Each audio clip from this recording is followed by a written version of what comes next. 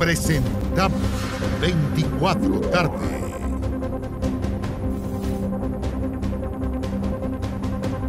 ¿Cómo están? Muy buenas tardes, bienvenidas, bienvenidos a la revisión de noticias en 24 tarde, una de la tarde en punto, usted lo ve en el reloj para iniciar la revisión de noticias, siempre concentrados en el ámbito policial, internacional, pero sobre todo en lo económico que cruza con lo político. El quinto retiro con este retiro acotado. Dos proyectos que se tramitan en paralelo. La Comisión de Trabajo de la Cámara de Diputados ayer despachó el proyecto de retiro acotado de fondos previsionales a la Comisión de Hacienda. Tanto esta iniciativa como el proyecto de quinto retiro se votarían en sala el próximo lunes 18 de abril.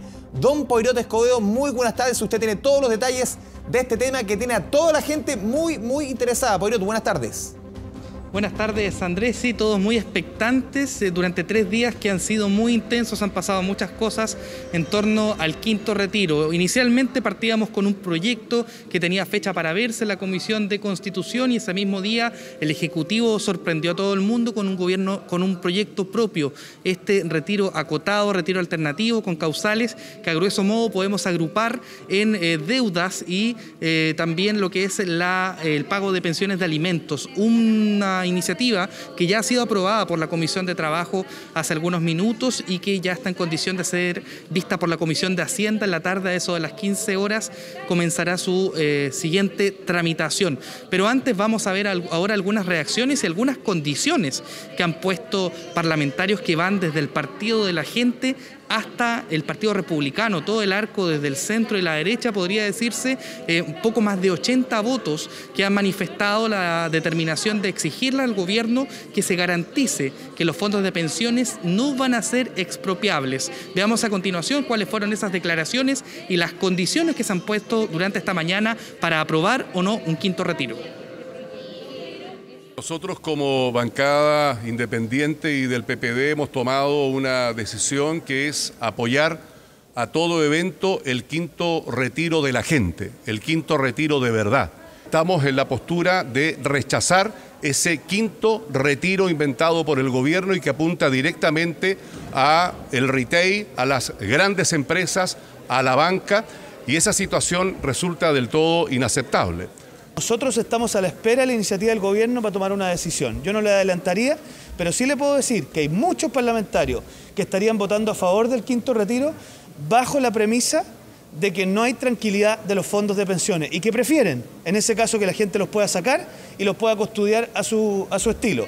Que el gobierno entienda que si hay que trabajar el fin de Semana Santo, habrá que trabajar el fin de Semana Santo para el lunes llegar con este texto como base con la nueva propuesta del gobierno que ha prometido el ministro de Sexpress ayer. Tienen que incorporarse otras materias, temas relativos a, otros servicios como Internet, temas relativos a vivienda, temas relativos a, a educación. Son algunos los servicios y otras materias que deben incorporarse. Esperamos que al momento que se vote este proyecto en la sala estén incorporados. No, sé cómo podemos ser más claros en esto. Nosotros no estamos de acuerdo con la expropiación de fondos previsionales. Nosotros creemos que los fondos de ahorro previsional le pertenecen a los trabajadores y trabajadoras y que tienen que ser destinados a eh, resguardo de la seguridad social en Chile. Viene ahí el diputado Alessandri, hacía alusión al fin de Semana Santo, si es necesario trabajar durante el fin de semana y llegar con una propuesta que eh, se ha solicitado, sea eh, con la base de un proyecto ingresado esta mañana por parte de parlamentarios de Renovación Nacional que versa sobre declarar o garantizar que los fondos de pensiones no serán expropiables, que no se pondrá fin a eh, la herencia de los mismos y también se hace un emplazamiento a la eh, Convención Constitucional a poder también garantizar que los fondos no se van a expropiar, que son propiedad de los trabajadores que los tienen ahorrados en sus cuentas de capitalización individual. Es importante esta señal porque se conforma un bloque que decíamos va desde el Partido de la Gente, pasando por la democracia cristiana, Evópoli, eh, Renovación Nacional, la UDI, el Partido Republicano, serían poco más de eh, 80 votos, hasta 83 votos, incluso una mayoría en la Cámara que podría eventualmente condicionar y poner en entredicho las negociaciones que ha estado sosteniendo el Ejecutivo para obtener una mayoría, por un lado, que les permita aprobar su propio proyecto de retiro de fondos, este retiro acotado que tiene algunas causales que ya están definidas, como son las deudas de créditos hipotecarios, deudas de salud y también lo que es el pago de pensiones alimenticias. Se plantea en este proyecto un mecanismo permanente que permita, en su mayoría, a las mujeres, a las madres, poder optar un mecanismo más expedito y permanente de retención de fondos para quienes eh, tengan adeudadas las eh, cuentas estas de eh, pensiones de alimentos. Y muy importante también lo que decía el diputado Undurraga, presidente de la Comisión de Trabajo, el diputado también de la Democracia Cristiana, él ha tenido la voluntad de tramitar este proyecto, pero también pide incorporar nuevos aspectos, como son, por ejemplo, las deudas de telefonía, también las deudas educativas, por ejemplo, son algunos de los puntos que se les ha planteado al ministro de Hacienda, Mario Marcel, para que pueda estudiarlo, para que pueda ingresar indicaciones y así hacer quizás un poquito más universal este proyecto acotado de retiro de fondos que eh, tiene como principal eh, objetivo el pago de deudas, no generar una inflación excesiva, no generar mucho circulante y eh, también contrarrestar el quinto retiro que ha sido empujado por la diputada Pamela Giles, Eduardo Durán, Jorge Durán, entre otros parlamentarios que han insistido en que este proyecto sea aprobado. El quinto retiro, el tradicional, el que todos conocemos, que hemos visto que se ha tramitado desde el año pasado hasta ahora, eh, es un proyecto que fue rechazado por la Comisión de Constitución, no tuvo la mayoría eh, en, ese, en ese espacio, hubo una votación dividida de parlamentarios de gobierno, de los tres parlamentarios del Partido Socialista, dos votaron a favor de este retiro a pesar de los reparos del eh, Ejecutivo, del gobierno del presidente Gabriel Boric. Ahí llegan divididos a esa votación, hay incertidumbre respecto de lo que va a pasar en la sala, porque se espera que el día lunes, ya acordada la fecha, a eso de las 3 de la tarde, se voten ambos proyectos, el proyecto acotado de retiro de fondos y también el retiro, eh, el quinto retiro que ha sido planteado por parlamentarios, eh, quien también tuvo palabras para referirse al avance de su propio proyecto, el del Ejecutivo. El retiro acotado fue el ministro de Hacienda, Mario Marcel, quien sabemos cuál ha sido su postura eh, histórica a esta altura ya tradicional en la tramitación de los retiros, en contra de los retiros de pensiones, pero defendiendo también que se avance en un retiro acotado que ha sido despachado por la Comisión de Trabajo. Veamos a continuación cuáles fueron sus palabras. ¿Qué pasó con las indicaciones de Renovación Nacional de la Democracia Cristiana y qué es lo que quedó pendiente? Nos señalaban los parlamentarios que van a presentar algo en la sala igual, ¿no? Eh, sí, bueno, es parte del proceso legislativo. Eh, se han enfrentado diversas eh, situaciones, varias de ellas pudieron ser recogidas por el Ejecutivo, otras no, porque no corresponden a, la, lógica del proyecto, pero en general hemos tenido, creo yo, un trabajo bien constructivo como normalmente ocurre en el Congreso Nacional. Bien, ahí las palabras del ministro Marcelo, un trabajo constructivo en lo que se busca eh, realizar, eh, eh, tratar también de hacer pedagogía, persuadir a los parlamentarios que han estado en la duda, que han estado reflexivos en torno a aprobar o no el quinto retiro de los diputados y también en torno a poder respaldar con fuerza lo que es este proyecto alternativo y esto bajo el argumento del Ejecutivo en todas las vocerías, en todas las discusiones de que un quinto retiro sería algo para el programa de gobierno, para una reforma de pensiones, para la estabilidad económica, eh, entre otros aspectos, otras externalidades negativas que podría traer este quinto retiro de fondos. Más de 51 eh, mil millones de dólares han sido inyectados a la economía desde el primer retiro, eso lo ha dicho el ministro Mario Marcel, algo que ha generado una situación de inflación, Andrés, que tú por cierto, conoces eh, muy bien respecto de lo que ha sido esta inflación histórica y eh, las eh, advertencias que se han hecho respecto de que un nuevo retiro de fondos tradicionales, las condiciones que se han hecho en ocasiones anteriores, podría ser muy perjudicial para las cuentas de capitalización individual, para las personas, para los cotizantes y también para este problema de la inflación que afecta, por cierto, a los más desfavorecidos. vamos a estar muy atentos al desarrollo de este debate que a partir de las 15 horas de hoy continuará la Comisión de Hacienda para continuar revisando el proyecto de gobierno en torno a un quinto retiro de fondos acotado. Y ya el día lunes, lo decíamos, los dos proyectos, el rechazado por la Comisión de Constitución y posteriormente eh, el proyecto de gobierno, el que ha sido impulsado por el Ejecutivo, van a verse eh, en la sala, van a tener su votación clave en donde la sala es el soberano, es el que determina cuál de los dos proyectos van a avanzar. El proyecto del quinto retiro necesita 93 votos, tres quintos de la sala, eh, algo que, por cierto, es un número alto, pero a jugar por la voluntad desde el Partido de la Gente hasta la centro derecha, eso podría incluso lograrse. Eh, hay, que, hay que, por cierto, estar muy atentos al desarrollo de eso, toda vez que se han, puesto como condiciones eh, eh, poder respaldar este proyecto que han ingresado de que los fondos no sean expropiables. Son 93 votos, los cuales el gobierno buscará, por cierto, que no se logren. Y por otro lado está el proyecto del gobierno, que por ser patrocinado por el presidente de la República necesita una mayoría simple, es algo mucho más fácil de conseguir. Por cierto, es un proyecto que estaría mejor en cuanto a las proyecciones de alcanzar sus votaciones ese, ese día lunes. Algo que deberá resolverse, una votación clave, quizás uno de los mayores desafíos en términos de coordinación política para el gobierno y también para eh, lo que es el debate de estos retiros del, eh, retiro del 10%. Eh, en este caso, un debate que continúa abierto, que, hoy día se prolonga por dos caminos, dos proyectos distintos con distintas disposiciones y vamos a estar muy atentos finalmente a cuál va a ser la determinación del Ejecutivo respecto de presentar un proyecto para que no se expropien los fondos, para así persuadir a los parlamentarios de la centro derecha y así ir sumando apoyos a favor de su propio proyecto de quinto retiro acotado tú mencionabas, eh, por ejemplo, el escenario inflacionario que se abre en nuestra economía. Ayer lo detallaba y también lo hacía no solamente el ministro Marcel, la presidenta del Banco Central, Rosana Costa. Solamente los retiros significaron, tú lo decías bien, una inyección de 51 mil millones de dólares los tres retiros. Recordemos que estamos, eh, estamos eh, tramitando, conversando de un quinto retiro, pero el cuarto no se llevó a la práctica. Este en, la práctica sería un cuarto retiro. A ese, a ese monto que tú mencionas hay que sumarle los 25 mil millones de dólares que significaron transferencias directas desde el Estado, IFE y otros. O sea, estamos hablando de un monto global de 75 mil millones de dólares. Para que la gente se haga una idea, eso es más o menos un presupuesto de la nación que se inyecta directamente a la economía prácticamente con la misma producción. Es decir, eso lleva a que obviamente los precios se vean mermados, se vean, se vean al alza, y es lo que ha explicado de manera súper didáctica durante, no solamente ayer y antes de ayer, durante el último año y medio, Mario Marcel, y también lo explicaba Rosana Costa. Inyectar otros 16 mil millones de dólares, que significa el eh, quinto retiro, significaría incluso un alza de hasta 5% de la inflación. Para muchos es una campaña del terror, pero todo lo que dijo Marcel el año pasado y antepasado, lamentablemente para aquellos que dicen hoy día, que es una campaña del terror, se ha ido cumpliendo. Pero quiero ir a un punto que tú mencionabas y que va a ser fundamental en la discusión de aquí al lunes, cuando se eh, voten en, paralelo los dos, los dos proyectos, el, el, acotado y el quinto retiro. Aquí esta propuesta desde la derecha de que el gobierno presente esta idea, este proyecto de que los fondos no van a ser, van no van a ser expropiables.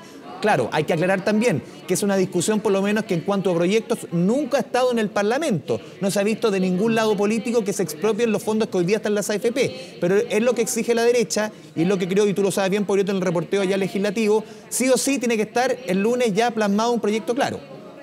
Sí, evidentemente los eh, plazos apremian el ministro Jackson ya se dio en ese aspecto, lo dijo en la comisión, lo dijo posteriormente cuando se rechazó el quinto retiro de fondos, de estar disponibles a patrocinar o eventualmente ingresar un proyecto propio que implique garantizar y dar esta tranquilidad a la centro derecha de que los fondos de pensiones no se van a expropiar, que son eh, propiedad de los trabajadores, algo que, eh, por cierto, tú decías, mm. nunca se ha debatido en el Congreso, nunca ha sido tema en discusión, pero es una preocupación que tiene eh, este sector político a la centro derecha en torno, por ejemplo, al debate que se está dando en la Convención Constitucional, en torno al programa de gobierno, a la reforma a las pensiones. Entonces, ante la incertidumbre de no saber qué va a pasar ahí, se pide una garantía y con eso quizás lograr algún acercamiento que permita rechazar un quinto retiro. Aún no lo sabemos. Poirot, retomamos el contacto en caso de ser necesario. Un abrazo. Hasta pronto. Continuamos con información policial. Una persecución terminó con cuatro delincuentes detenidos luego que intentaran robar en una casa, esto en la comuna de Providencia. Fabián Collado con los detalles de esta y otras noticias policiales de la jornada. Fabián, buenas tardes. Muy buenas tardes, Andrés y todos delincuentes con un amplio prontuario policial. Estamos hablando entre 10 a 20 detenciones cada uno y sobre todo se suman luego de esto que protagonizaron en la comuna de Providencia, porque cerca de la medianoche esta banda llegó hasta una casa que está ubicada en calle Sagrados Corazones. En ese lugar estaban escalando y todo aquello eh, fue visto por parte de un vecino, el cual llamó a seguridad ciudadana de la municipalidad de Providencia e incluso estos eh, delincuentes terminaron disparándoles. Quiero que primero pasemos a revisar el ambiente de la situación vivida durante las últimas horas en ese sector de la región metropolitana.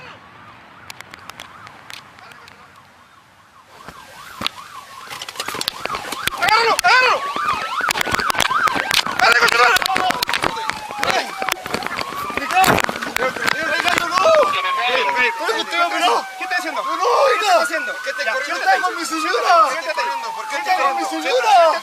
Siéntate, ¿Estaba con mi señora? Siéntate ahí. ¿Dónde vives Oiga, ¿dónde vives tú? Peñalolén está buscando a mi señora. Cállate. Ven para acá. Ya, espásalo, espásalo, espásalo. ¿Qué te suena? Ponle la mano, ponle la mano, ponle la mano. Oiga, me asusté porque... ¡Ponle la mano, cállate!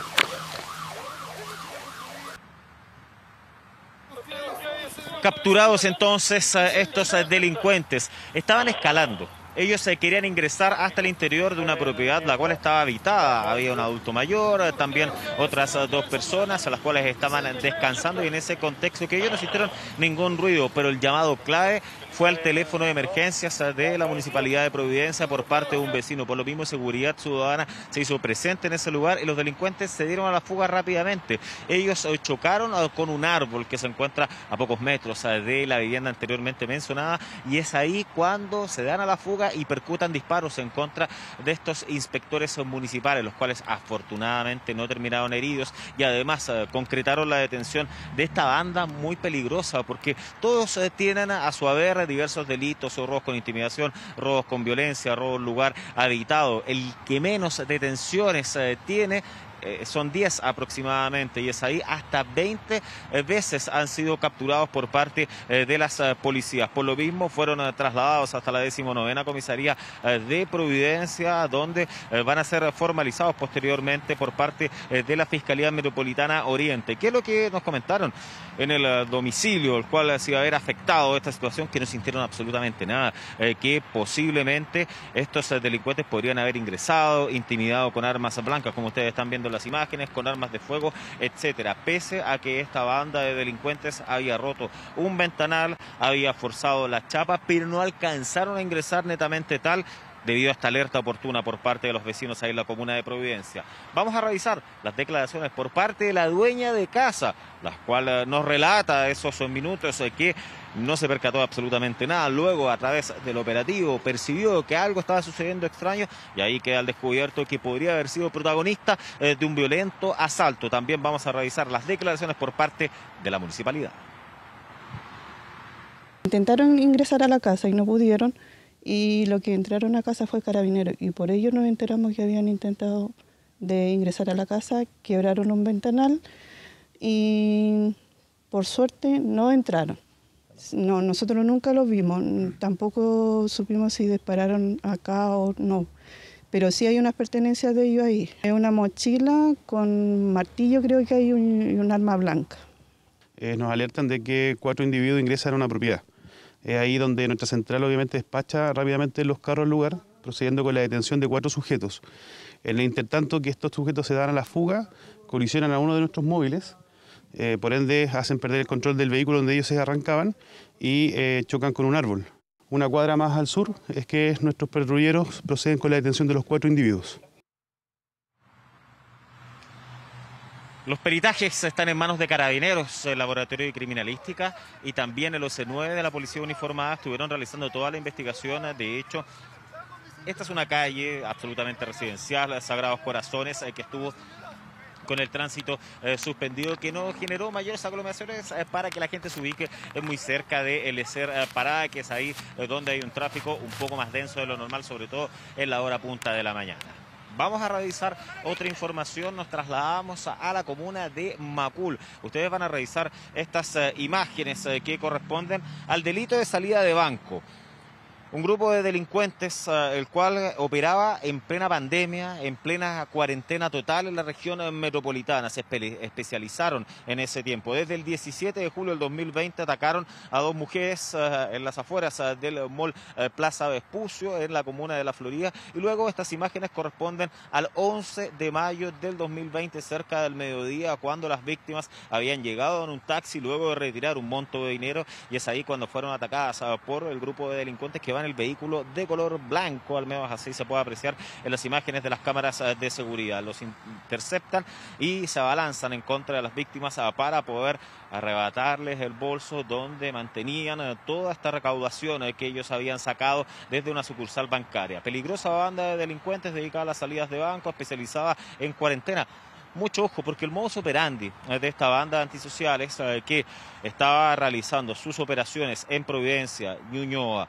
Macul, La Florida, incluso la región de O'Higgins, posiblemente ellos pedían permiso. ¿Por qué?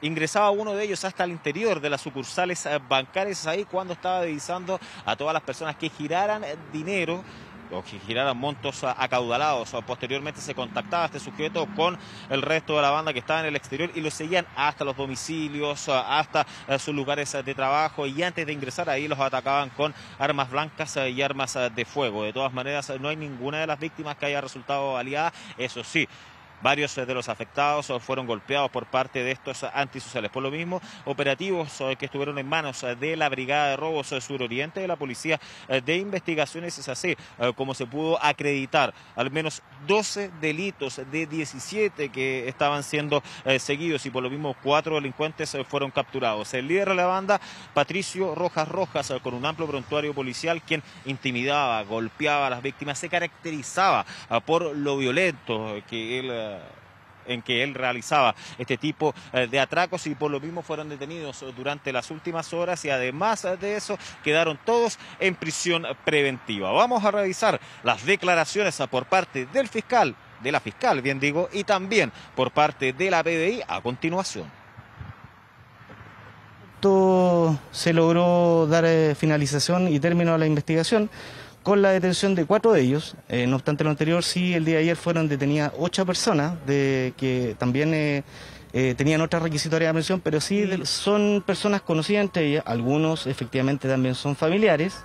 Eh, y a través de la investigación se logró establecer que eh, en algunas oportunidades participaban eh, tanto familiares juntos como personas conocidas. Bueno, se logró identificar a por lo menos 10 sujetos que participan de esta banda, de los cuales cuatro el día de ayer quedaron en prisión preventiva. Marcan a una persona al interior de la sucursal bancaria y luego siguen a esa persona generalmente hasta el domicilio y en ese lugar los abordan a la víctima, ya saben dónde tiene el dinero. Así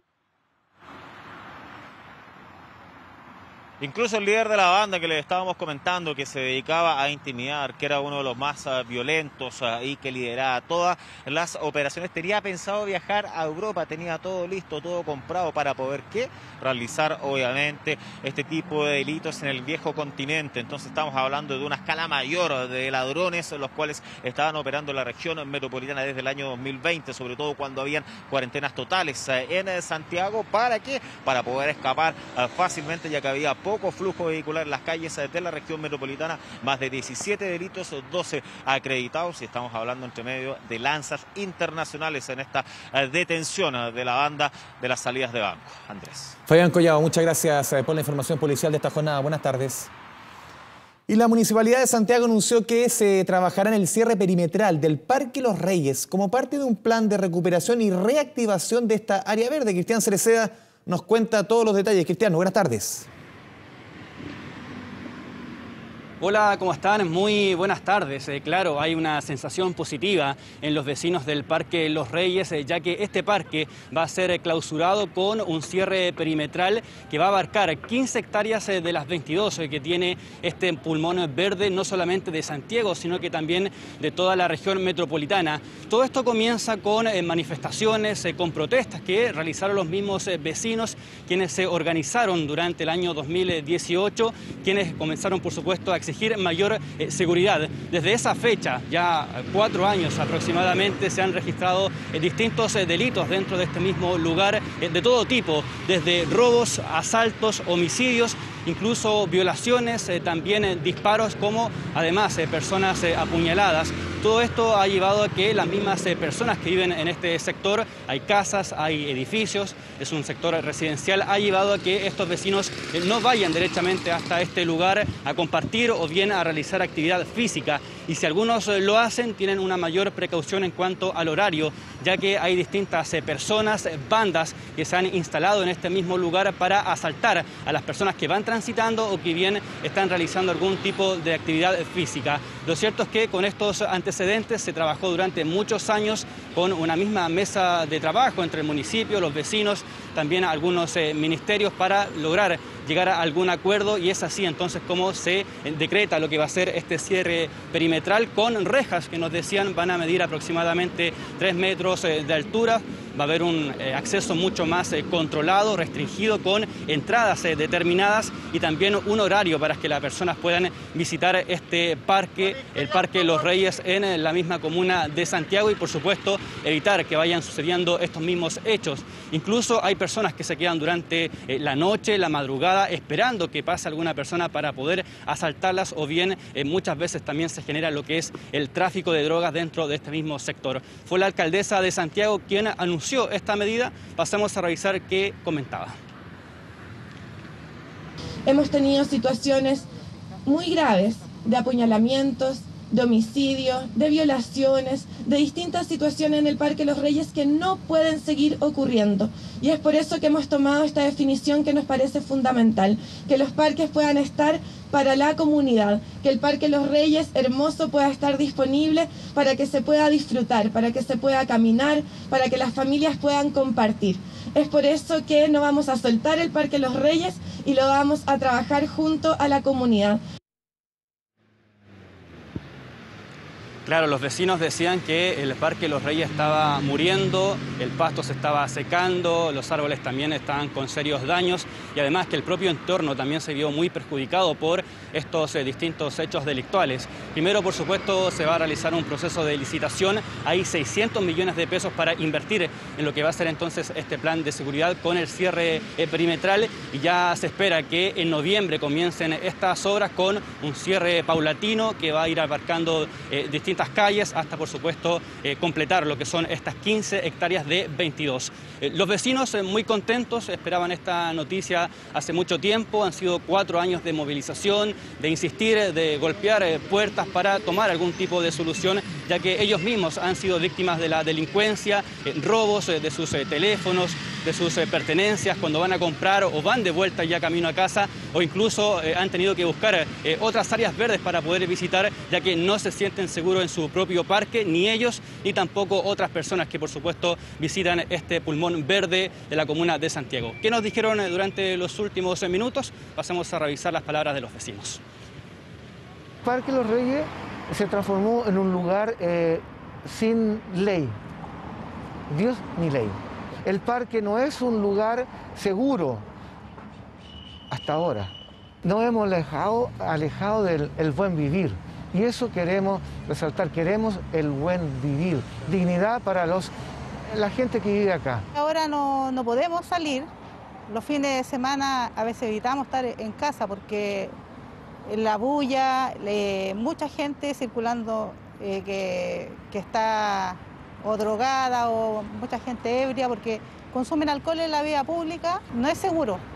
Antes uno podía caminar tranquilamente hasta Estación Mapocho, ir al centro caminando por el parque, ahora no se puede. No hay seguridad.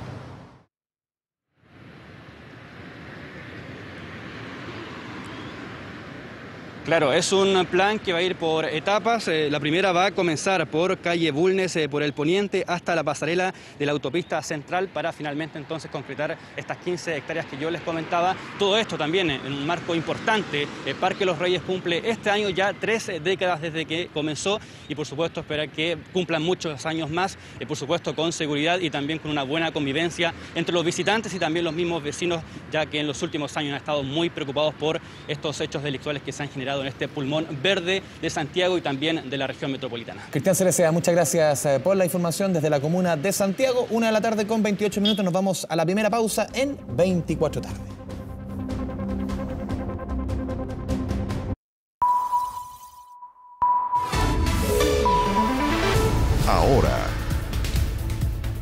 Esta jornada la convención vota en torno a la estructura del nuevo gobierno y del nuevo Congreso Nacional. Hay tensión en relación a las atribuciones que se darán a la llamada Cámara de las Regiones, que reemplaza al actual Senado. Valentina Reyes, en una jornada, vamos a volver al cliché, una jornada clave. Esta sí que es clave. Valentina, buenas tardes.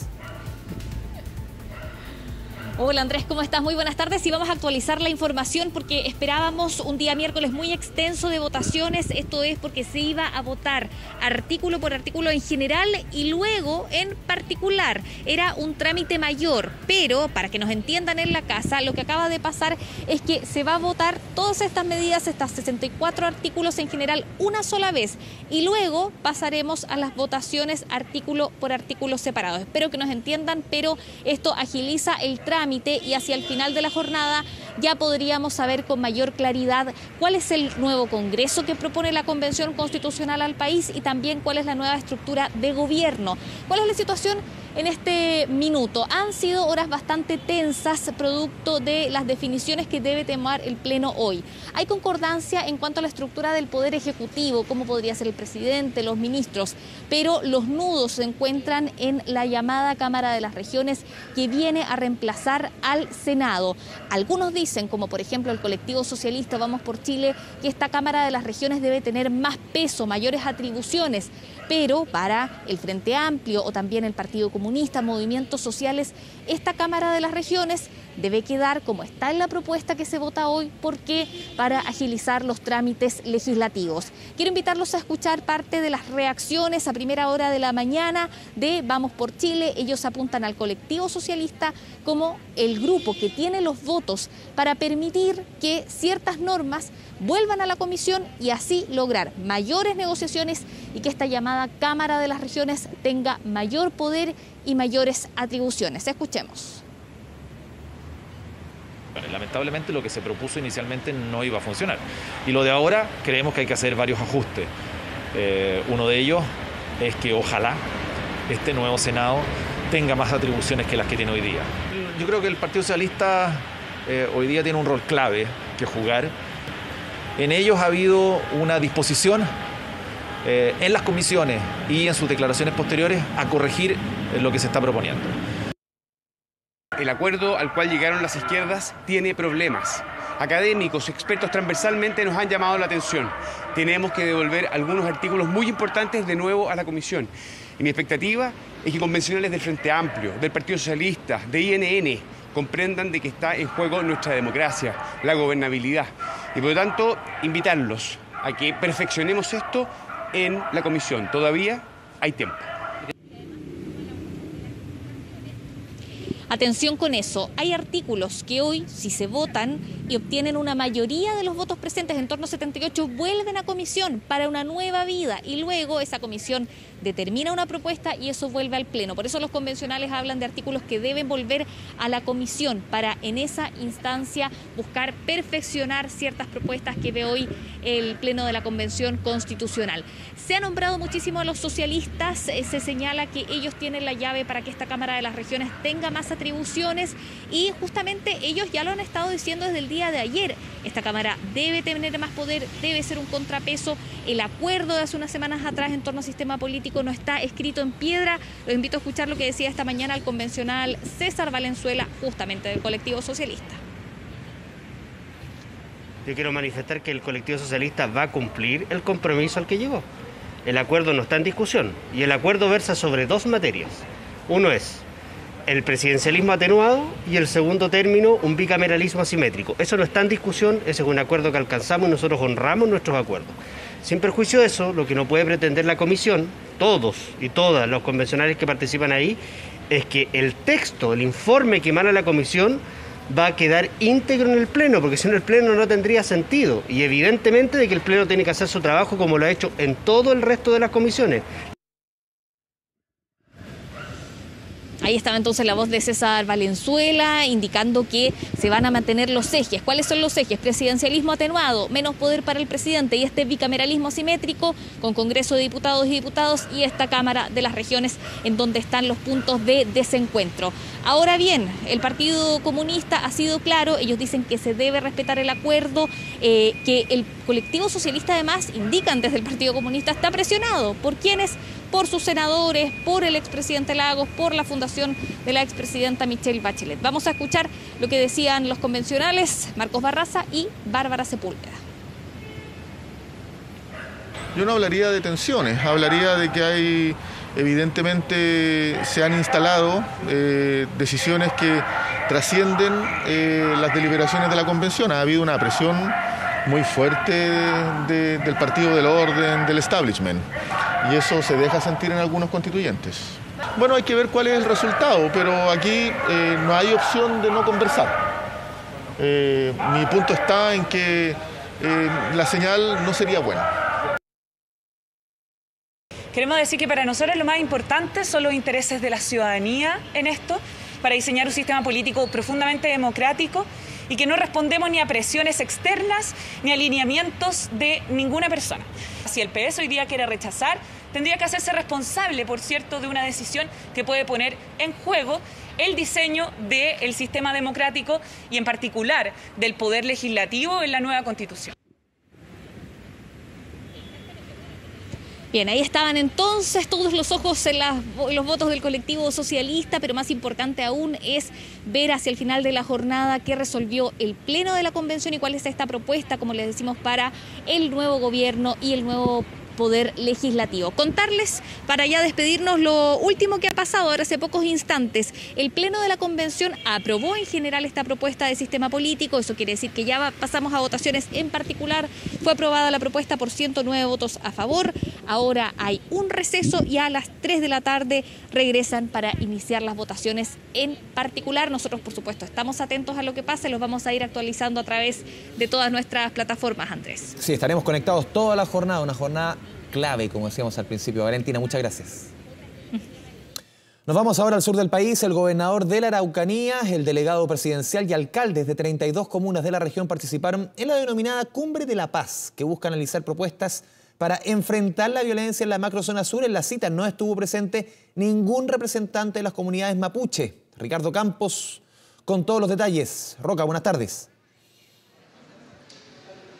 Sí, ¿qué tal Andrés? ¿Cómo están todos? Muy buenas tardes. Lo que fue tema, ¿ah? lo que fue un tema de cuestionamiento también por parte de algunas eh, personalidades de la esfera política local en torno a la nula presencia del pueblo mapuche en esta cumbre por la paz o cumbre de eh, gobiernos locales, como también ha sido denominada. ¿no? En definitiva, parte de los 32 alcaldes de la región de la Araucanía, estuvieron 28 de forma oficial. Esto ya es una cifra que se ha entregado al término de esta cumbre por la paz aquí en eh, los salones del Casino Dreams de la ciudad de Temuco, en el corazón de la capital de la región de la Araucanía. Ya estamos revisando imágenes de lo que ha acontecido durante toda esta jornada. Comenzó muy temprano, a las 9 de la mañana, todo organizado por el gobernador de la región de la Araucanía recientemente electo, eh, Luciano Rivas, quien entonces ha hecho la invitación, quien ha protagonizado toda esta cumbre por la paz, invitando a los alcaldes.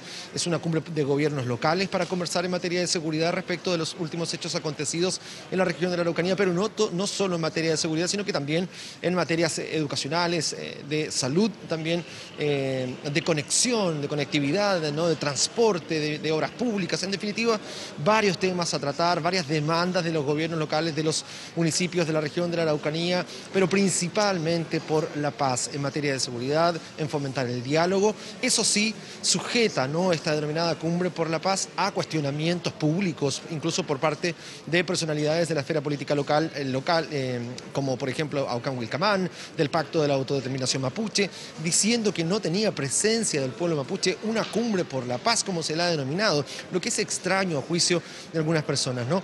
Han indicado, eso sí, que se han tratado diversos temas. Incluso participó fue invitado al presidente de la República, Gabriel Boric, a esta, esta cumbre, eh, se ha excusado y ha participado entonces Raúl Alar, el delegado presidencial en la región de la Araucanía, eh, no entregando ningún tipo de anunciado público, al parecer quería dar un testimonio, un discurso inicial, pero no lo ha hecho Eh, sin embargo, ha participado Alfredo Moreno, por ejemplo, ex ministro de Desarrollo Social en el gobierno de Sebastián Piñera, también estuvo en la mañana.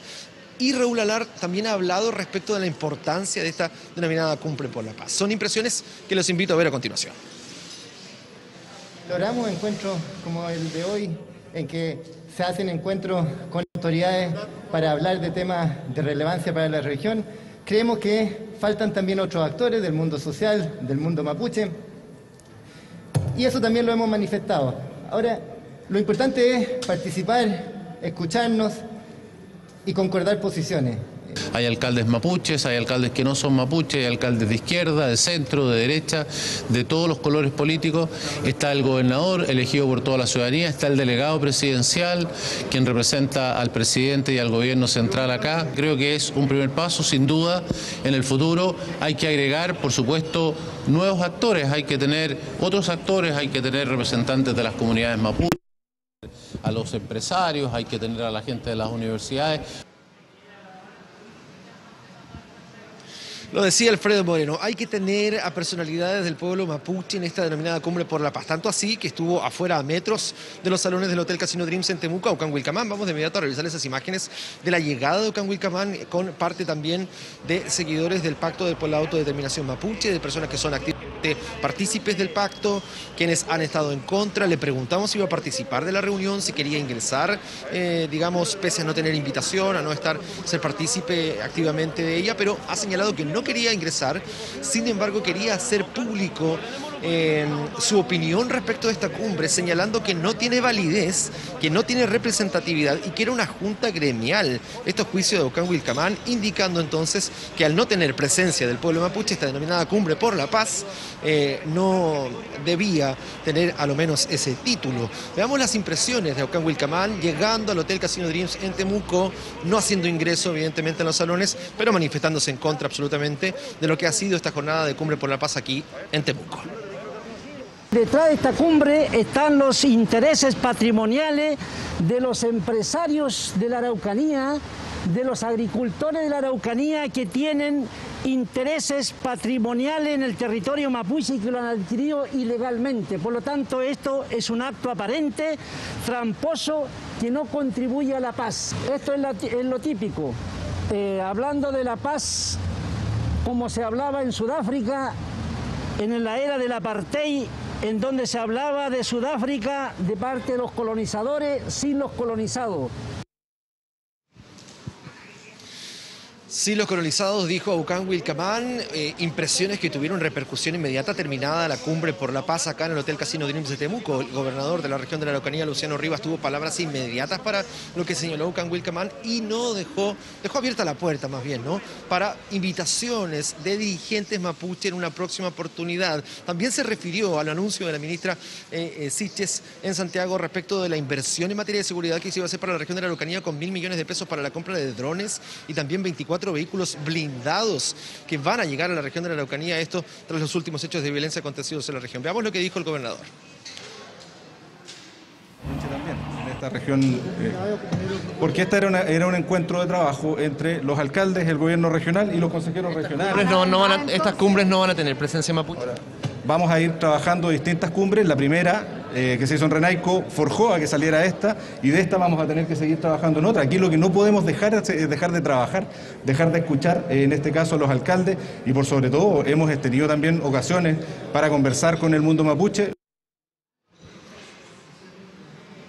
Bueno, cuestionada cumbre por la paz, pero que sí han señalado el gobernador de la región de la Araucanía y principal organizador de la misma, una cumbre de gobiernos locales también como se le ha llamado, porque cuenta con la presencia de todos los alcaldes, o la mayoría de ellos, 28 estuvieron hoy día en esta denominada cumbre por la paz, acá en la región de la Araucanía, de los 32 que se excusaron algunos. También, eh, evidentemente, gobiernos locales que incluso no son oficialistas, ¿no? Eh, por lo tanto, aquí hubo diálogo, hubo mesas de trabajo, cuatro mesas situadas alrededor de estos salones del Hotel Casino Príncipe de Temuco, donde se hablaron distintos temas en materia de seguridad, en materia de educación, en materia de salud también. Eh, conclusiones que se hicieron tras finalizada esta cumbre por la paz con bastantes cuestionamientos y veremos si va a haber presencia o no del pueblo mapuche en una próxima cumbre por la paz. Ricardo Campos, muchas gracias por la información desde la región de la Araucanía. Buenas tardes.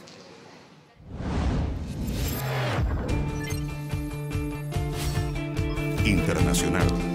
Revisamos la información internacional más relevante de la jornada junto a Sofía Norman, que está aquí en el estudio. Sofía, buenas tardes. Hola Andrés, muy buenas tardes. Vamos a comenzar en Ucrania y con las últimas afirmaciones que realizó Rusia durante esta jornada. Desde el Kremlin afirman que son más de mil las tropas ucranianas, específicamente marinos, que se habrían rendido en la ciudad de Mariupol, que habrían entregado las armas, declaraciones que fueron negadas por las autoridades de Ucrania. Un alto asesor del presidente Volodymyr Zelensky, el mandatario ucraniano, desmintió estas afirmaciones comentando que la ciudad portuaria sigue en pie. El mismo alcalde de Mariupol comentó durante esta jornada también que sigue bajo el control de las autoridades ucranianas. Agregó que el sistema de defensa de Mariupol se ha incrementado, incluso habla de un fortalecimiento durante los últimos días. Estos comentarios del Kremlin de una supuesta rendición por parte de las tropas ucranianas se suman a las declaraciones del alcalde de la ciudad que afirma que ya son más de 21 mil los civiles que han muerto solamente en esta asediada ciudad del sur de Ucrania de Mariupol. El mandatario ucraniano realizó nuevamente un llamado a Occidente para el envío de ayuda militar. Dijo que si no ayudan a Ucrania a defenderse eh, contra el avance de las tropas rusas, esto va a seguir siendo un baño de sangre, parte de lo que comentó a través de su red social, de su cuenta de Twitter. También comparte un video que vamos a revisar a continuación. Mejor armada que la tiranía. Los países occidentales tienen todo para que esto suceda. De ellos depende la victoria final sobre la tiranía y el número de personas salvadas. Armen a Ucrania ahora para defender la libertad.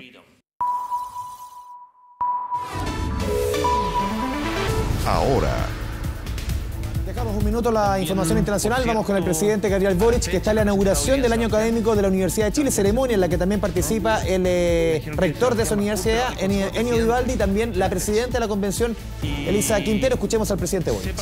que Chile los necesita, que Chile necesita a sus estudiantes organizados, rebeldes, contestatarios, y que el movimiento estudiantil siempre ha tenido diferentes momentos, pero siempre se levanta. Y cuenten con todo el apoyo para que sigan siendo protagonistas de la vida como lo ha sido a lo largo de toda la historia la Federación de Estudiantes de la Universidad de Chile.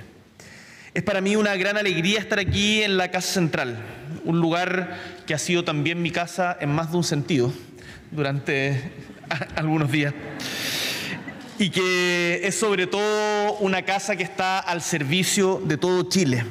Así lo demuestra también parte del elenco que tomamos prestado de la universidad, como por ejemplo nuestro ministro de Ciencia y Tecnología o nuestra nueva presidenta del Consejo Nacional de Televisión, eh, que estaban en funciones cuando eh, les pedimos por favor de que nos acompañaran, entre muchos otros profesores, estudiantes, ayudantes.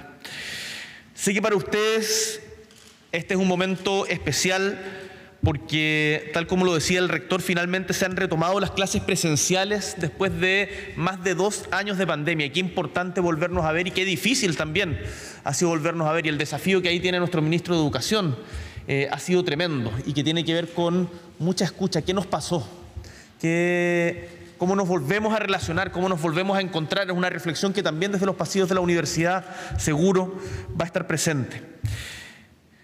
Sin duda nos sentimos más cerca cuando tenemos la posibilidad de vernos las caras y además les recuerdo que desde hoy día, mañana, nos vamos a poder ver las caras en los espacios públicos y abiertos porque se levanta el uso de mascarilla eh, y compartir el mismo espacio.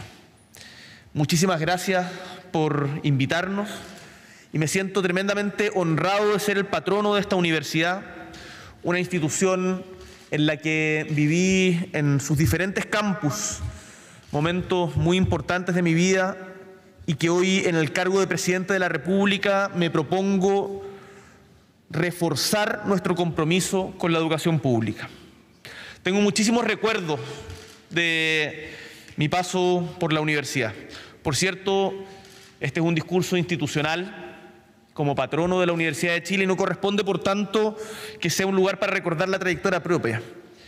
Pero sí tengo claro mis afectos, mis lealtades, y es en este lugar en donde fui desarrollando y en conjunto con muchos de los que hoy día, muchos y muchas de los que hoy día nos acompañan en nuestro gobierno, la manera de ver el mundo que nos ha marcado profundamente y que nos impulsa a ser un gobierno de transformación. Son muchas las autoridades políticas y líderes de las distintas áreas que se han formado aquí, no solamente en la política institucional, sino también tremendos liderazgos sociales. Y esto se explica no solamente Escuchábamos por la al eh, calidad- presidente de la República, Gabriel Boric, en la inauguración del año académico en la Universidad de Chile. Retomamos ahora con la información internacional. Sofía Norma. Bueno, vamos a seguir. ¿Con qué seguimos? Seguimos con el Nueva York. Ayer estuvimos bien pendientes de este tiroteo, este ataque que se da específicamente en una línea del metro en la ciudad de Nueva York, en Brooklyn. Y ya la última actualización es que ahora es sospechoso este hombre que ayer calificaba la policía de Nueva York como una persona de interés. Esto significa que es distinto a ser sospechoso, porque persona de interés es quien tenga información respecto al incidente. Se le había visto en algunas cámaras de seguridad, pero ya durante esta Pero mañana... sigue teniendo, perdón, Sofía, el carácter policial más que terrorista. Exactamente. Se confirma, se sigue la misma tesis que ayer. Exactamente, ayer se descarta que haya sido un acto terrorista. Se encuentran diversas cuentas eh, de YouTube, de redes sociales de este hombre que ahora es sospechoso de este tiroteo, Frank James, de 62 años. Y hay algunas eh, pruebas que eh, este hombre que estamos viendo ahí en las imágenes, que había publicado ciertos videos criticando, por ejemplo, al alcalde de la ciudad de Nueva York. No tiene esta lista de eh, un eh, atentado de terrorismo. Esto todavía sigue siendo una investigación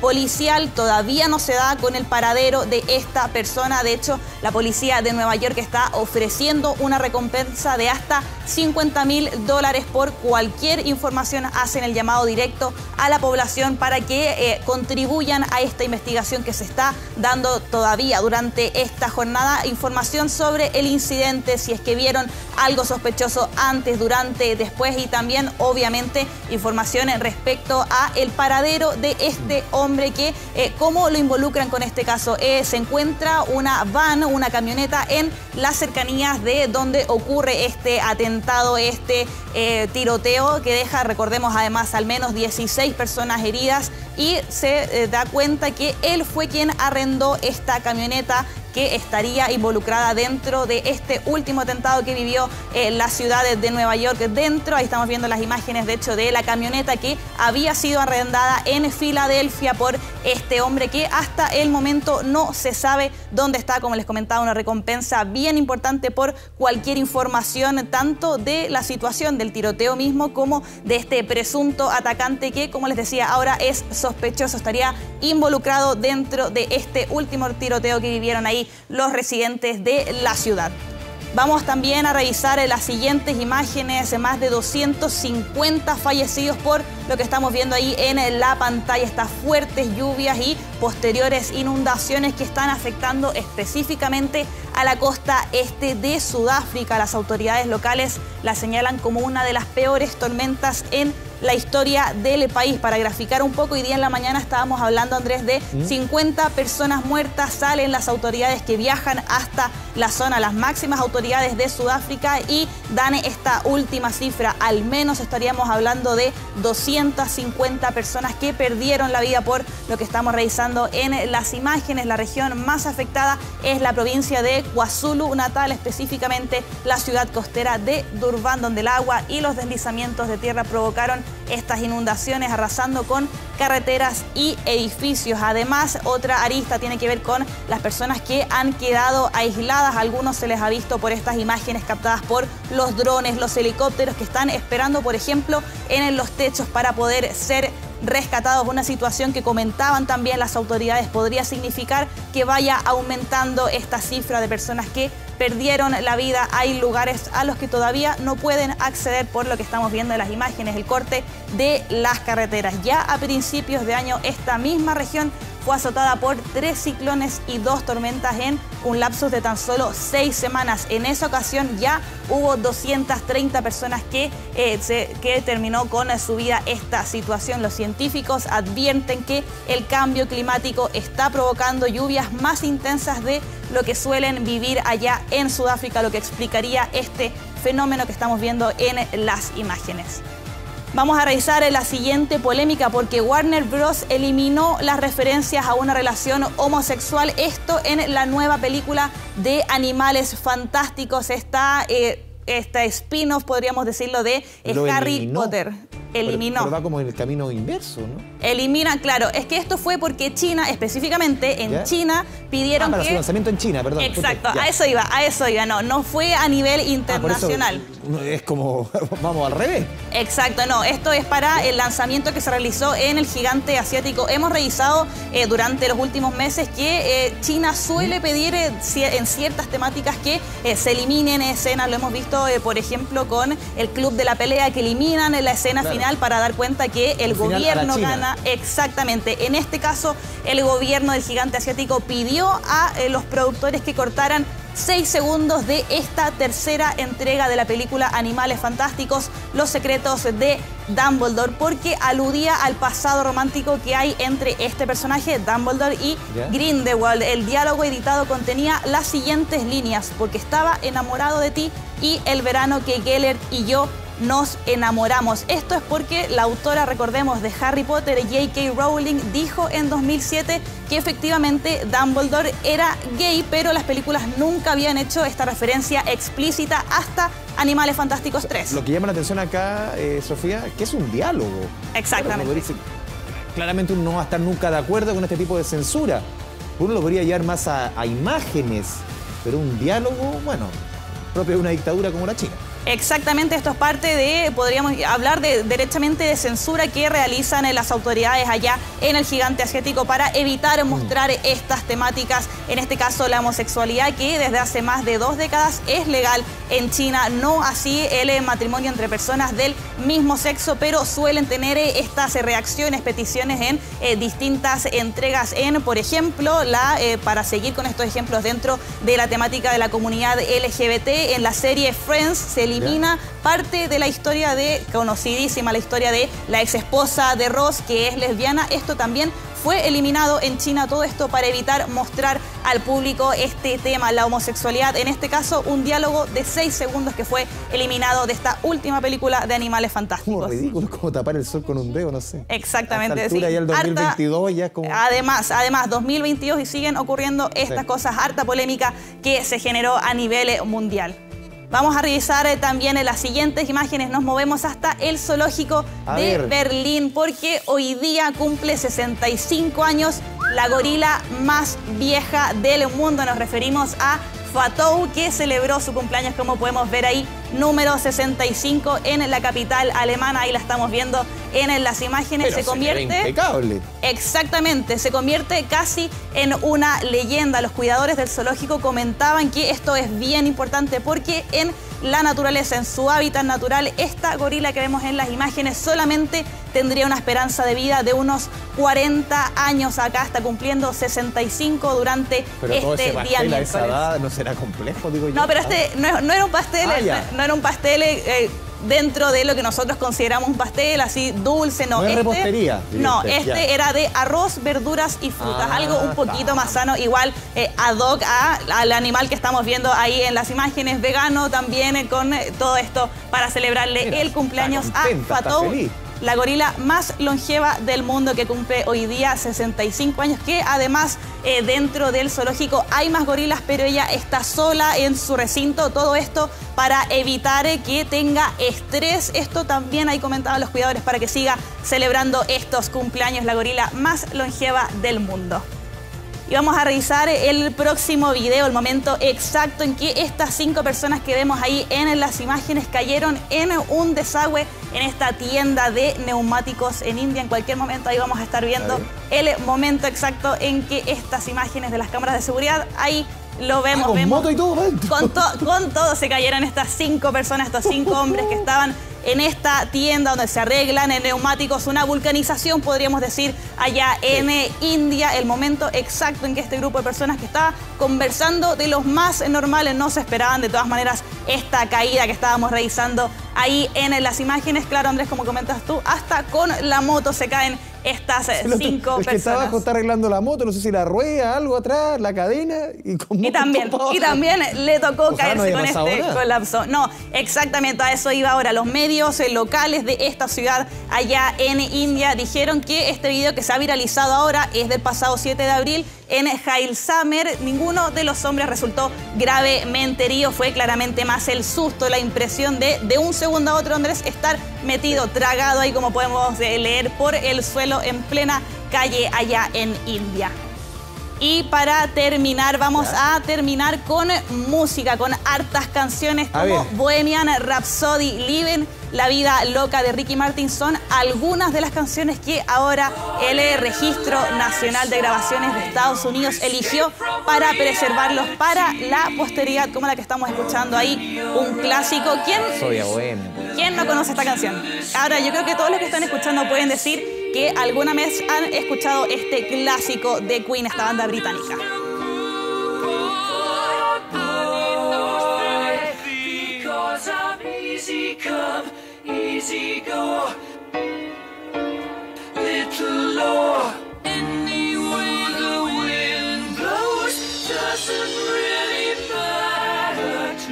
Una pregunta, Sofi, ¿qué significa que se elijan estos sonidos para la posteridad, que se guarden de alguna forma? Esto se trata que la Biblioteca del Congreso de Estados Unidos desde el año 2000 cada año anualmente selecciona 25 títulos para preservarlos. Lo guarda dentro de los archivos que tiene la Biblioteca del Congreso porque dice que son tan buenos, son sonidos para la historia que merecen ser guardados. Este año la lista de los que se llaman sonidos de la historia incluye esta canción que estamos escuchando de Queen, también Living la vida loca de Ricky Martin, además del clásico, por ejemplo, de Journey Don't Stop Believing. Eh, ahí estamos escuchando otra de estas Está canciones que van a ser preservadas para la posteridad. Ricky Martin, Journey, Queen, tenemos de todo en esta lista. Además, por ejemplo, en los álbumes se incluyó Songs in A Minor de Alicia Keys, que es de hecho su álbum debut, va a pasar a la historia.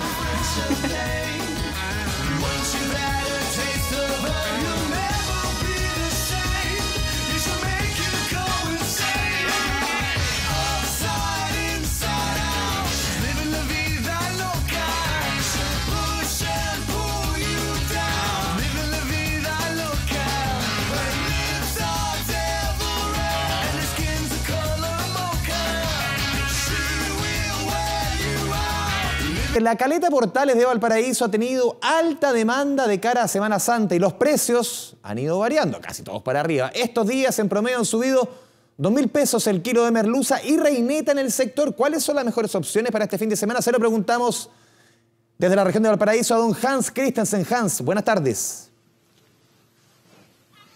Hola, ¿qué tal Andrés? ¿Cómo estás? Muy buenas tardes. Claro, te saludamos desde probablemente el que sea no el principal terminal pesquero de la región de Valparaíso, uno de los eh, favoritos y sin lugar a dudas el que va a concitar la atención en este fin de semana XL. Recordemos, viernes, eh, sábado y domingo, en donde prácticamente el precio ¿no? de estos apetecidos productos eh, del mar como la reineta, la merluza y también los moluscos, como por ejemplo las machas, aumentan. Tienen una leve variación de precio y eso producto, como bien nos explicaban, parte no de los pescadores y quienes eh, realizan la venta de este tipo de productos se debe, uno, a que aumenta la demanda sin lugar a dudas, pero además ellos eh, nos señalan que desde ya prácticamente la semana pasada también ha habido mucha menos eh, cantidad de pesca, mucho menos peces, con lo que ellos retornan a este lugar y por lo tanto también tienen menos oferta que poder entregarle a las personas que llegan hasta este punto. De allí que, por ejemplo, ellos señalen que el precio de la reineta fluctúa. Nosotros fuimos sacando algún tipo de promedio en 4.300 pesos, la merluza 5.000 pesos y la macha, en la que llamó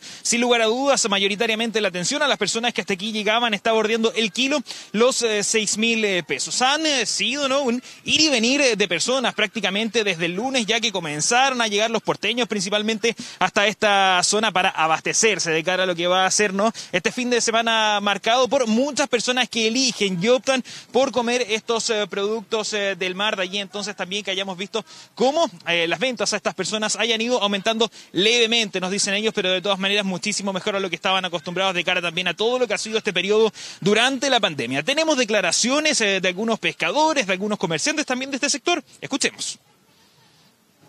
Lo que pasa en realidad es que hay poco pescado y mucho consumo que hay en Chile en este momento.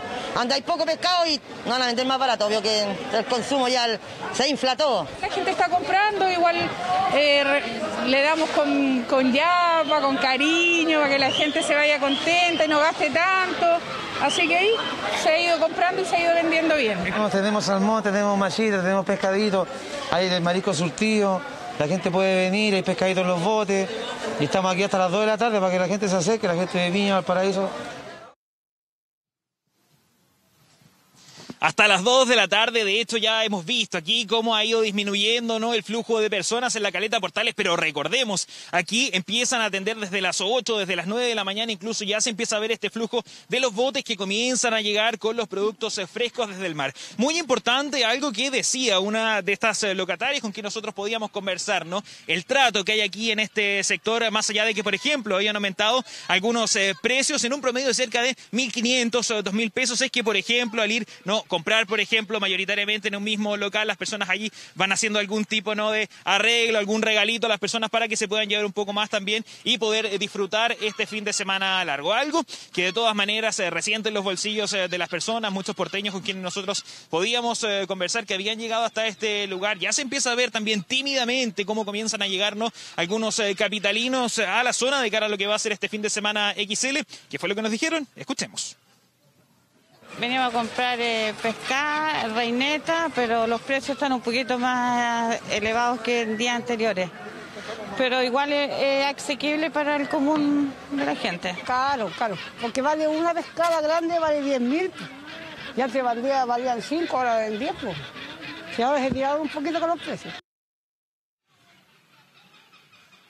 Allí parte entonces eh, de las declaraciones de estas personas con quienes nosotros podíamos conversar más temprano, quienes daban cuenta que de alguna manera el dinero les cundía muchísimo más, incluso la semana pasada, hace dos semanas atrás, cuando los precios estaban un poco más eh, bajos. Eh, ¿Qué es lo que nos decían los comerciantes? Bueno, allí algunos porteños, algunas personas no decidieron llegar acá con antelación, prefirieron congelar de hecho para tener para este fin de semana largo y hoy día entonces se ve esta variación de precios en cerca de 1.500, 2.000 pesos, producto de que es muchísima más la cantidad de gente también que está llegando hasta esta zona. Muy importante, eso sí, Andrés, para tranquilidad de la gente, los locatarios eh, nos eh, recalcaban, estos son productos que vienen con todas sus certificaciones para que las personas puedan estar eh, tranquilas también. Si tiene alguna duda, por ejemplo, también puede consultar y para que les muestre, les expongan ¿no? todas este tipo de trazabilidad, incluso desde dónde vienen los productos, para que usted al momento de comprar y después se lo sirva este fin de semana, pueda hacerlo entonces bajo todos los protocolos también sanitarios correspondientes de que la mercadería que se vende, al menos aquí en la Caleta Portales, nos explicaban, tiene todas eh, sus certificaciones. Una situación entonces a la cual nosotros sin lugar a dudas eh, vamos a seguir tomándole el pulso acá en la región de Valparaíso. Vamos a ver qué sucede mañana, ya el día jueves, cuando se espera comienza a llegar un flujo mucho más alto de personas acá a nuestra zona y ver qué va a suceder en estos principales terminales eh, pesqueros, caletas, de cara a este fin de semana, Santo. Hans, muchas gracias por la información desde la región de Valparaíso. Un abrazo. Continuamos con temas similares. Este viernes se volverá a celebrar el Día Nacional de la Comida Chilena, actividad que se desarrolló por última vez en 2019 y que busca potenciar los sabores del país. Por eso distintas autoridades visitaron una muestra gastronómica en el barrio Franklin y proyectan más de 762 mil viajes durante Semana Santa. Dani Linares con toda la información. Dani, buenas tardes. Claro, Día de la Cocina Chilena y qué mejor manera de conmemorarla, de celebrarla, que con esta muestra gastronómica espectacular eh, que está a esta hora servida aquí en el sector del barrio Franklin. Estamos en calle Víctor Manuel, donde están los galpones eh, del Persa Vivo Vivo, eh, con una propuesta gastronómica que se ha tomado el barrio ya eh, hace harto tiempo y que hoy está buscando también un nuevo aire para poder revolver, volver a poder levantar sus emprendimientos, sus negocios que han estado tan afectados producto de la pandemia, con varias dificultades que ha tenido sobre todo el sector gastronómico y el sector turístico. Son elementos importantes que deben ser de alguna manera solucionados por la autoridad, por eso ha llegado hasta este punto el ministro de Economía, también la secretaria del Turismo, eh, a chequear en terreno cuál es la propuesta que se está eh, manejando ¿no? por los diferentes locatarios eh, del barrio. Voy a acercar aquí un poquito cómo están. Muy buenas tardes muchachos. Cuéntenos un poquito bueno, de, su, propuesta, cuál es hoy día para relevar también la cocina chilena. Bueno, acá tenemos el típico pobre chileno, tenemos de postre leche asada, pollo al pil pil, eh, champiñón al pil pil, y Borgoña para acompañar. Un llamado también a la gente a volver a este barrio, a volver a consumir quizás en los locales, ahora que quizás la flexibilización del plan paso a paso permite quizás mayor interacción. Eh, que vengan todos acá al Persa, cordialmente invitados, especialmente al Catering del Alma acá, lo esperamos, tenemos comida vegetariana, vegana, nos especializamos en eso y lo esperamos sábado y domingo a partir de la una de la tarde con el corazón abierto. Perfecto, para todos los gustos, sábado y domingo. Vamos a acercarnos acá inmediatamente, a ver si interrumpo la comida. ¿Cómo está, ministro? Lo tengo con una declaración de principio diciendo, a usted le gusta comer. A mí me gusta comer, sí. Soy muy, muy bueno para comer. Muy bueno para comer. Oiga, relevar por la importancia gastronómica ¿no? de este barrio, que también tiene un, un impulso relevante también en esta instancia, en el contexto de pandemia que tenemos. ¿no?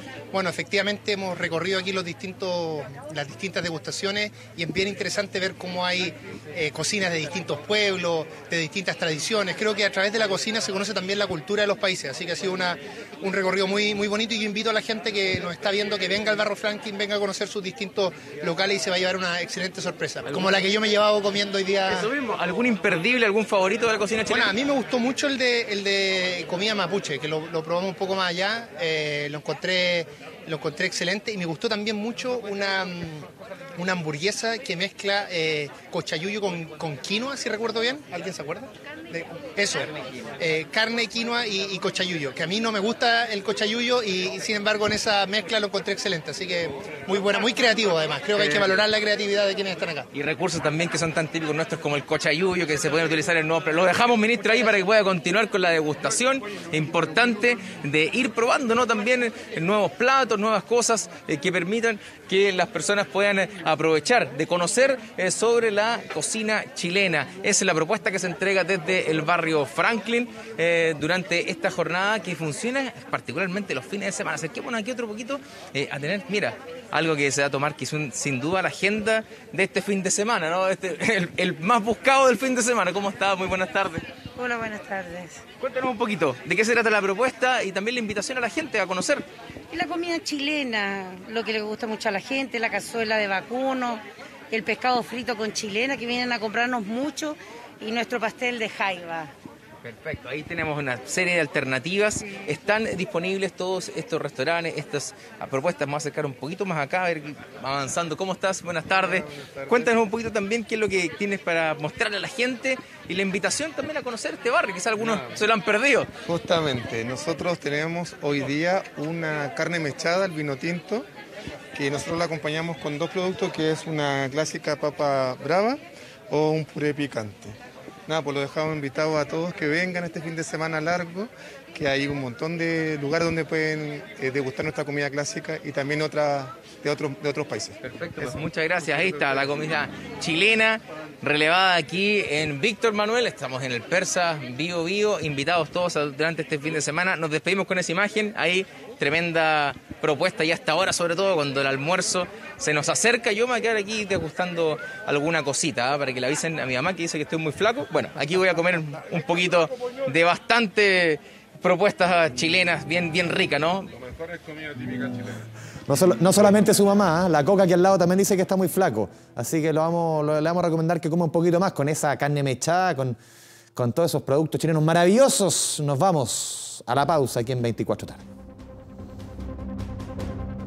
Volvemos con las noticias a 24 tarde. En un viaje a Venezuela para participar de una cumbre en Caracas, el alcalde de Recoleta, Daniel Jaude, saludó a las Fuerzas Armadas bolivarianas y de paso criticó a las Fuerzas Armadas chilenas durante una reunión con el presidente venezolano Nicolás Maduro. Tuvo respuesta inmediata de la canciller chilena Antonio Urrejola. Escuchemos primero las palabras del alcalde de Recoleta y después la respuesta de la canciller Urrejola. Porque en nuestro país los militares se han puesto más de una vez al servicio de un país extranjero para derrocar a su propio gobierno. Y los militares chilenos, los grandes militares chilenos, se han puesto al servicio de otro país para asesinar a sus propios generales en jefes del ejército. ¿No? Y eso es muy distinto a lo que uno ve aquí cuando mira una fuerza armada que son incapaces de ponerse contra su propio pueblo ¿ah? para servir a los intereses de un país extranjero. Y yo creo que eso hay que reconocerlo, porque si no fuera por esa fuerza armada, esta historia sería muy distinta. Porque en mi país, cuando se violan los derechos humanos, nunca hemos visto que un violador de derechos humanos sea perseguido por la justicia. Nunca en mi país han encarcelado a los que les quitaron los ojos a los jóvenes que salieron a protestar hace tres años atrás. Desde Cancillería puedo señalar en primer lugar, el alcalde Jadwe es un alcalde y como tal puede opinar lo que él estime conveniente, no representa al gobierno y en materia de la representación del gobierno creo que el presidente Boric ha sido bastante claro respecto de Venezuela. Vamos a hablar de economía, vamos a hablar de este proyecto alternativo al proyecto de quinto re- retiro propuesto por el gobierno, presentado este proyecto en las primeras horas del día de ayer. Intentar más que comparar a un retiro, porque es difícil comparar cualquier medida que venga desde el Estado con eh, un retiro de fondos previsionales, intentar comparar eh, este proyecto alternativo en cuanto a montos y el efecto sobre todo, y lo ha dicho el eh, ministro Marcel, en la inflación, que de acuerdo a los economistas sería o tendría un efecto bastante más acotado en un eventual aumento del costo de la vida si es que este proyecto avanza en el Congreso. Pasamos a revisar la primera gráfica para entender lo presentado por la autoridad que ya tuvo el visto, el visto bueno desde la Comisión de Trabajo de la Cámara de Diputados. Este proyecto alternativo de retiro de fondos. ¿Cuánto se podrá sacar? En términos de montos, en el papel es lo mismo que el quinto retiro. ¿Cuánto las personas que van a sacar o podrían sacar pueden sacar potencialmente? Entre 35 UF hasta 150 unidades de fomento. Es decir, desde 1,1 millón de pesos hasta 4,7 millones de pesos. Vamos con la siguiente estación para explicar este proyecto alternativo. El universo en el papel es de 9,3 millones de afiliados que tienen saldo. Hoy día en las AFP hay 11,3 millones de afiliados en total, pero 2 millones de ellos no tienen saldo. Incluso lo ha dicho el ministro Marcel, si es que se aprobase un quinto retiro, esos 2 millones serían 5 millones de personas sin saldo. Hoy día son 9,3 millones que tienen por lo menos un peso en las AFP en nuestro país. Vamos con la siguiente gráfica y vamos a explicar quiénes podrían retirar estos montos, de acuerdo a lo propuesto por la autoridad. Obviamente el tema de las pensiones de alimentos, las personas, las mujeres sobre todo, son mujeres, la gran mayoría, el 99%, que sus respectivas parejas, padres de sus hijas, hijos, deben esta pensión de alimentos, podrían cobrar este, este retiro de fondos, podrían hacerlo efectivo, obviamente que en las cuentas del respectivo padre de la criatura. A ver, las deudas por salud también se incluyen como una posibilidad para retiro de fondos. Obviamente que aquí el cruce de datos y, y la posibilidad que den las AFP de pagar directamente, por ejemplo, a las entidades de salud, no va a ser fácil ese proceso. Entonces, esos son muchos de los temas que hay que ir eh, aquilatando en este proyecto. Un tercer elemento, los ahorros para el subsidio a la vivienda. Para las personas que quieren acceder a una vivienda social, obviamente que este retiro de fondos previsionales, los que tienen fondos, podría ser una importante ayuda para agrandar ese chanchito de ahorro para las personas que están postulando a una vivienda social. Vamos con la tercera gráfica. Las personas obviamente con eh, deudas hipotecarias contraídas hasta el 31 de marzo del 2022 también podrían hacer retiro de estos fondos eh, previsionales para el caso de saldar deudas hipotecarias. También las personas que eh, deben servicios básicos. Recordemos que también hay una ley que rige respecto a la suspensión en estado de excepción de los servicios básicos. También correría en este caso. Y deudas financieras, deudas con la banca, deudas con instituciones no bancarias, deudas financieras de todo tipo, contraídas también hasta el 31 de marzo del 2022. Le preguntamos a las personas en la calle qué le parece este proyecto presentado por la autoridad, qué le parece respecto al, proye al proyecto de quinto retiro. Escuchemos declaraciones. Para algunas personas bien, para otras no. En mi caso personal no me conviene. Es que hay gente que se gasta plata en cosas que no son necesarias. Para mí el quinto retiro no es necesario. La decisión de lo que yo haga con mi dinero es una opción mía. Y ellos en imponer ciertas condiciones para sacar el quinto retiro eh, no es justo porque hay gente que realmente lo necesita. Me parece que el dinero que los trabajadores ahorramos es dinero nuestro, forma parte del esfuerzo de nuestro trabajo. Me parece impresentable que un gobierno ahora defina de manera eh, sin ninguna visión general qué es lo que cada uno podría hacer con el fruto de su esfuerzo. No sé, el país se va a ir no sé a dónde si, si seguimos con esos retiros. Es verdad que hay gente que puede necesitar, ¿cierto? Pero yo creo que pueden haber otros medios, pero no el quinto retiro. Ahí vemos, hay posiciones de todo tipo, la gente en la calle, lo hemos visto, lo vimos también el viernes pasado con las cifras de inflación, 9,4% de inflación y lo ha dicho, lo ha sostenido e insistido el ministro de Hacienda en cuanto a los efectos un quinto retiro puede tener la inflación, lo dijo la presidenta del Banco Central, incluso puede subir 5 puntos más la inflación producto del eh, quinto retiro. Vamos con la siguiente gráfica, seguimos viendo, por ejemplo, en términos de justamente de inflación. El quinto retiro podría significar, uh, si es que todos retiran el potencial que podrían retirar, de acuerdo a cómo está el proyecto que se tramita en la Cámara de Diputados, hasta un retiro de, en el global de 16 mil millones de dólares. Ya en los tres primeros retiros se retiraron en global 51 mil millones de dólares, un cuarto de lo que administraban hasta hace dos años las AFP. ¿Qué significa este proyecto alternativo? Es un monto bastante menor, estamos hablando de 3 mil millones de dólares, bastante más acotado, lo decíamos, respecto a lo que significa el quinto retiro. Llevándolo en matemática súper básica, significaría prácticamente un quinto del total. Si en el primer retiro pueden retirar cinco personas, aquí solamente en términos de plata estamos hablando, seriamente solamente una de cada cinco personas. Le preguntamos a economistas respecto a el efecto inflacionario que puede tener este proyecto alternativo. Escuchemos debiese tener efecto sobre la inflación. No obstante, debiese tener un efecto más acotado que el proyecto de un quinto retiro.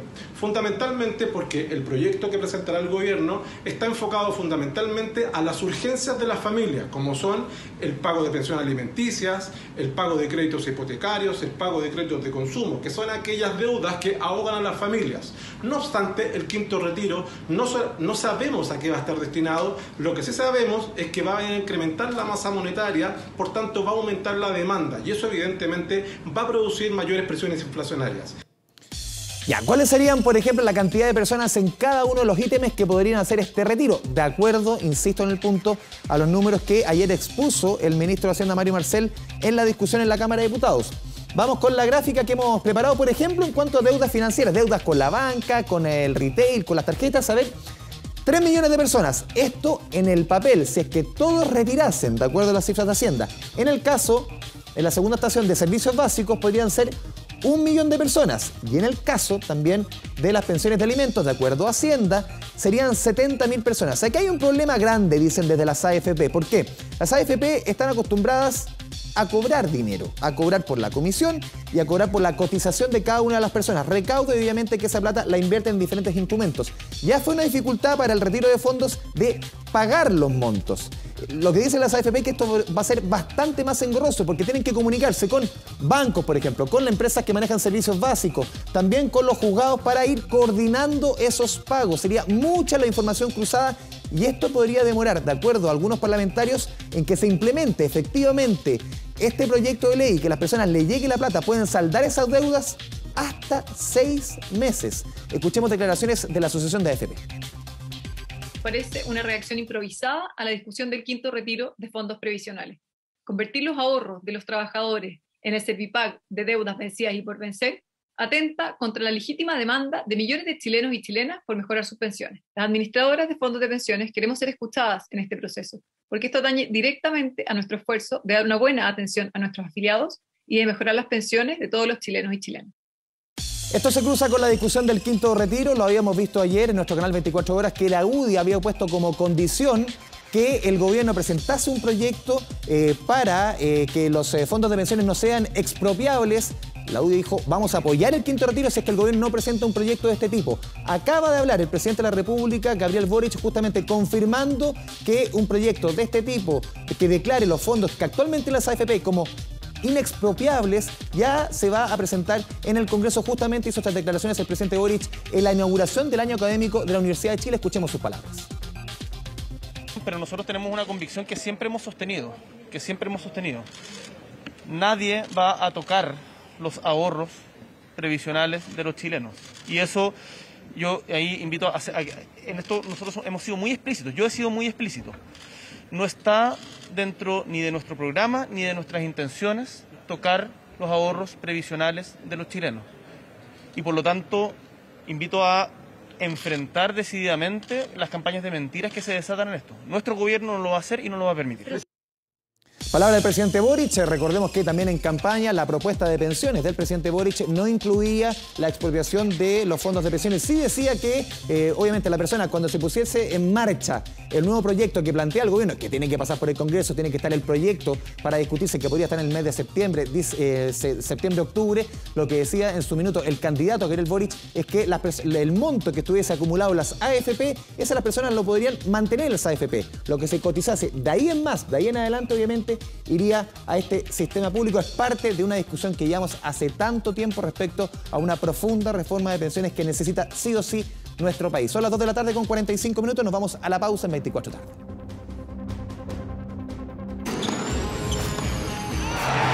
Deportes. Vamos con todo el deporte, Copa Libertadores de América, triunfo de la Católica, pero eh, un robo a mano armada. Un regalito, un regalito, digámoslo un regalito para la Universidad Católica. No hay que llorar ni cuando te roban y tampoco hay que andar haciéndose el gil cuando te regalan. Es verdad, fue un penal que prácticamente fue regalado por Leodán. Qué nombre, ¿ah? Leodán González. Este, este, este, es un árbitro que hace rato, hace varios partidos ha dado Árbitro uruguayo. Eh, leía un poco sobre el arbitraje uruguayo. Ellos tienen bar, pero solo en algunos partidos muy, muy parejo, en donde por momentos manejaron el balón ellos, por momentos hicimos muy bien las cosas nosotros, pero fue un partido sin tantas situaciones, como van a ser todos los partidos de Copa. No hay que enloquecerse, hay que ir con, tranquilidad, más como veníamos nosotros a, jugar este partido. Sinceramente, cuando uno pierde juegos como perdimos, nos tocó perder a nosotros, uno va perdiendo confianza. Eh, hay que ser realista y hay que darse cuenta y hay que ser mucho eh, autocrítica. Ahí escuchamos entonces a Cristian Paulucci que esto es un tanque de oxígeno que yo creo que va a durar bastante poco. ¿ah?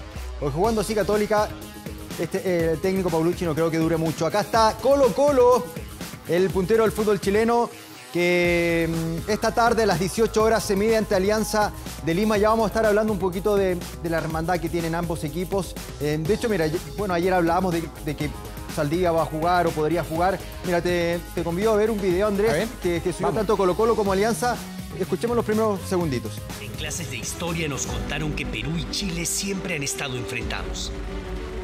Pero el fútbol nos enseña otra cosa nos cuenta la historia de dos hermanos, Alianza Lima y Colo Colo, que como grandes hermanos comparten muchas cosas.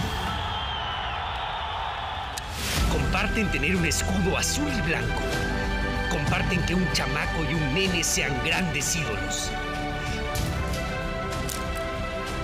Comparten que los dos sean el equipo del pueblo Comparten que ambos sean tetracampeones. Comparten que sus grandes rivales sean universitarios. Comparten ser la mejor cantera de sus países. Y tener a los mejores jugadores de ambas naciones. Toda esa hermandad nace porque en el momento más duro de alianza, Colo Colo compartió a José Letelier a Parco Quirós, a Francisco Huerta y a René Pinto.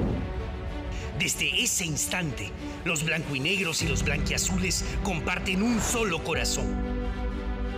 La historia más linda se escribe con fútbol. Por eso este 13 de abril, Colo Colo y Alianza Lima no se enfrentan. Juegan.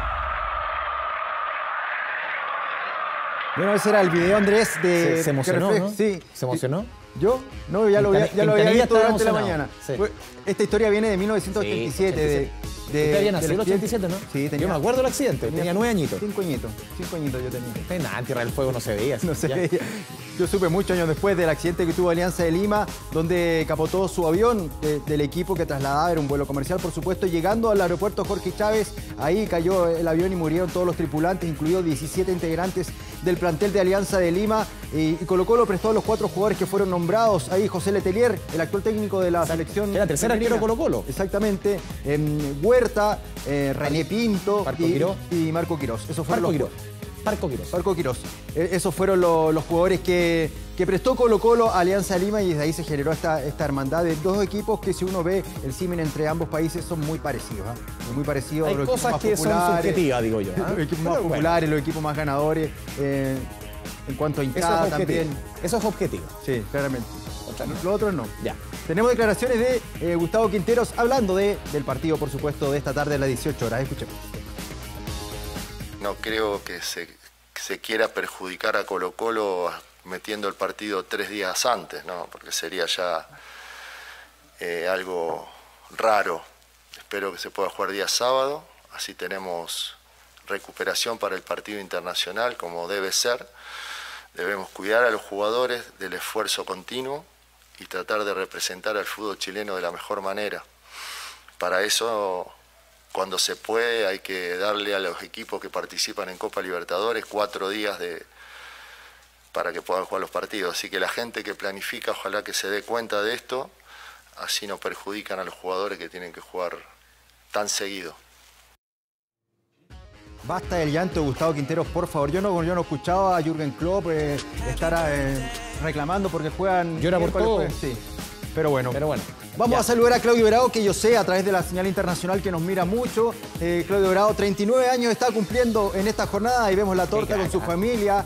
Eh, miren, la, la gran familia que ha formado Claudio Bravo. ¿Es el mejor arquero de la historia Para mí sí. de nuestro fútbol? Por lejos, para mí. Como carrera deportiva, sin duda. Sin duda. Uno que vio jugar a- al Cóndor, que es el mentor de. Claro, de- en de cuanto a talentos, ya un poco más, como tú decías. Claro, es subjetivo. Tú entras a hablar de eso porque los que tuvimos la suerte, claro, un desastroso final de carrera. eh, a Pero Roberto Mario Roja. Roja, eh, sí. No sé, yo, a mí no, no- yo nunca vi a alguien tapar como tapó aquí en Chile como, como el Cóndor. Pero bueno. Exactamente. Ahí está. La carrera de este hombre no, no tiene parangón. Hasta los Barcelona, 40 años en Europa. Hasta- ahí está el saludo justamente de, de su equipo, el Real Betis, que hasta los 40 años, como decías tú, renovó una temporada extraordinario. Todavía está bien físicamente, mentalmente y todavía es el capitán de la selección chilena hasta aquel día. ¿Usted cuántos tiene? Yo, 38. Ahí lo dejamos. ¿no? Don Sergio Pinto. Que esté bien, ¿ah? Muchas gracias. Con esta información, con el eh, cumpleaños del gran capitán de la selección chilena, don Claudio Bravo, y sus 39 años, con torta y todo, nos vamos despidiendo. 24 tarde, muchas gracias por informarse junto a nosotros. Chao, chao.